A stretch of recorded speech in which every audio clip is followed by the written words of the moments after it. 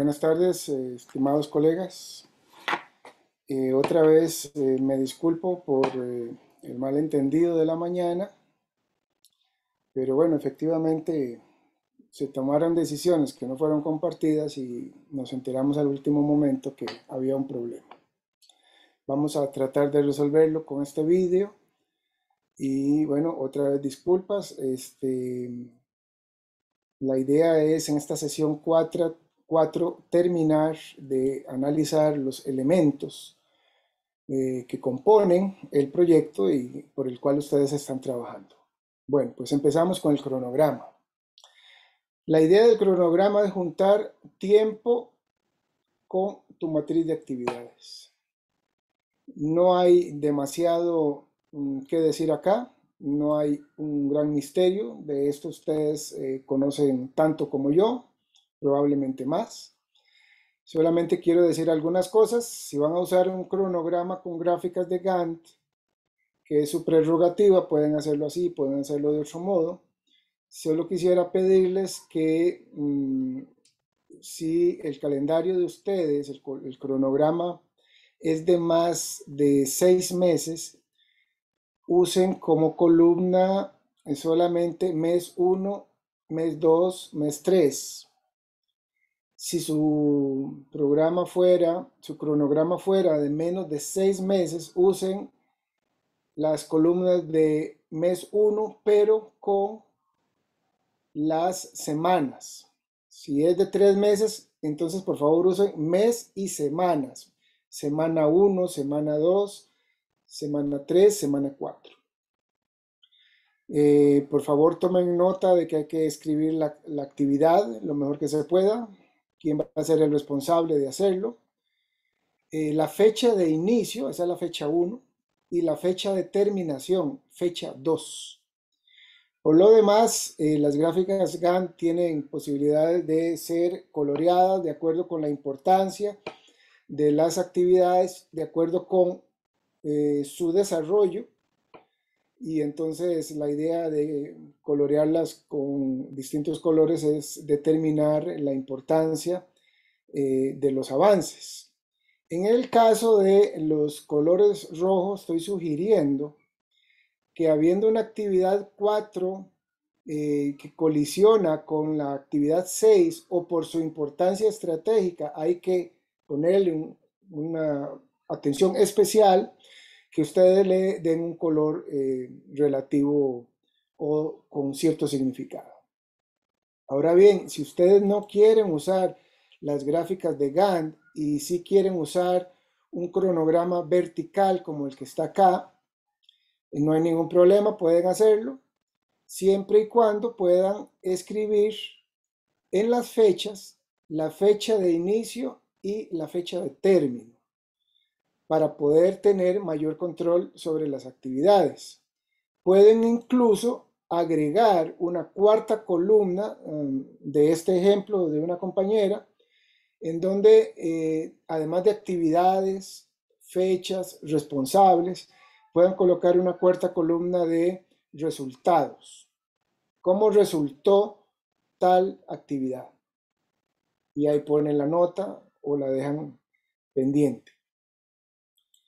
Bueno, pues eh, eso es lo que hay que decir del cronograma, pero es, es importante dejar establecido con la mayor claridad posible eh, las actividades eh, establecidas en un orden cronológico, lo mejor posible. Ahora bien, sobre seguimiento y monitoreo, pues hay que decir que el monitoreo es la tarea de cuidar el proyecto durante su desarrollo en específico, se trata de identificar las tareas que requieren una atención especial y que no habían sido atendidas adecuadamente.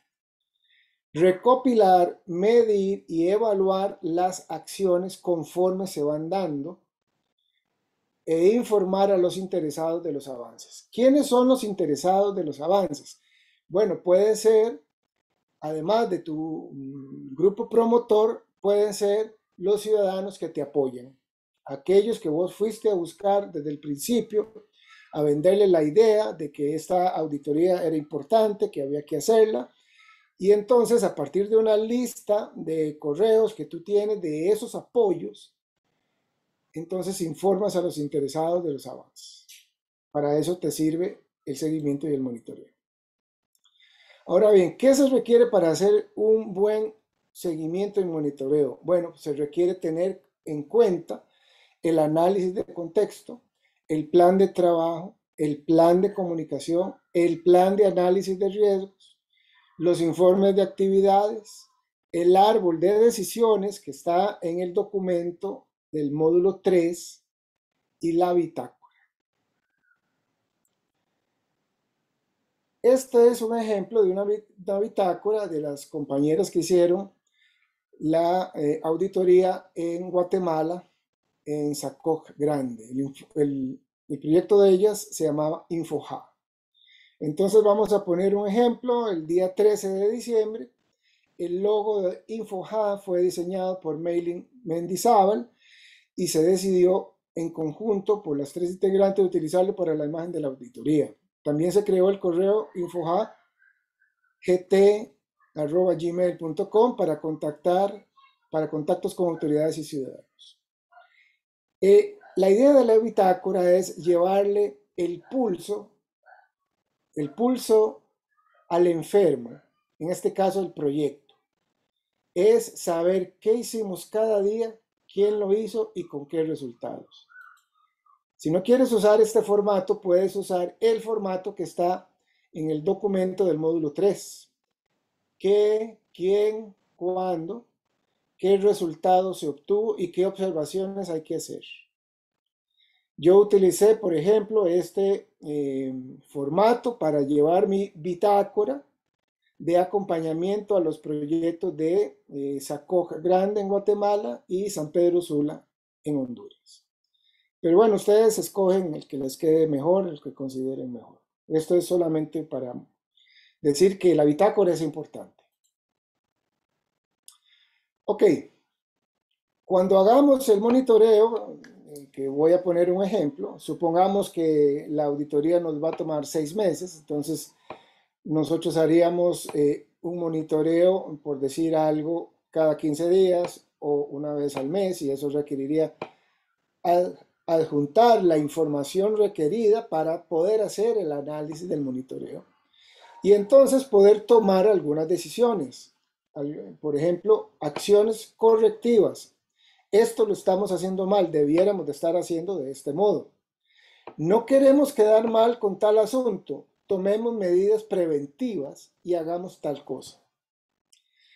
Esto salió mal, definitivamente esa reunión que hicimos con la gente no fue bien planificada. Reparemos los defectos del modelo y hagámoslo mejor la próxima vez. Y por lo tanto, la actualización de los planes. Hey, no habíamos considerado tal cosa, pero ya nos dimos cuenta de que es importante. Mejor incluyámoslos en los planes, entonces actualicemos el plan. Por otro lado, eh, quisiera compartir algunas ideas para terminar de sellar esta parte del diseño del proyecto. ¿Qué es lo que yo entiendo como lo nuevo de la auditoría social? Primero, la creación de microespacios de poder ciudadano, no para continuar con la vena autoritaria, sino para inyectar democracia en las venas de la sociedad. Ese es mi pensamiento. Lo nuevo de la auditoría social, con una dirección democrática, aprendemos, enseñamos cómo se distribuye el poder y eso es bueno para la sociedad. Recuerden que venimos de un pasado democrático y que hemos aprendido mucho del autoritarismo. El, el autoritarismo nos ha marcado. De ahí venimos. Las experiencias democráticas que tenemos son muy pocas. Necesitamos más experiencias democráticas. Entonces, con la auditoría aprendemos a relacionarnos con los funcionarios públicos y ellos aprenden de nosotros sobre un nuevo modelo de relación. Un modelo basado en el respeto, en, el cumplimiento de la norma legal y social, en el buen trato y en la seriedad. Hay que ser serios con la auditoría, hay que ser serios con la auditoría y hay que ser serios con la investigación.